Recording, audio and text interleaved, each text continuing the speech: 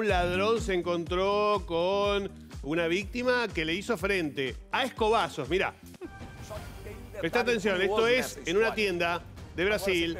Ahí está la, la señora y el ladrón que escapa, mientras la señora le da con una escoba.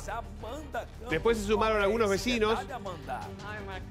Pero lo logró É, correr y hacer huir a al ladrón a escobazos. Ahí está la señora haciéndole frente. imaginar a cena. Esse homem de 49 anos, já bem Ahí viene experiente no crime, um entra cúmplice. no comércio de roupas mais ou menos por volta da E uma hora escapa.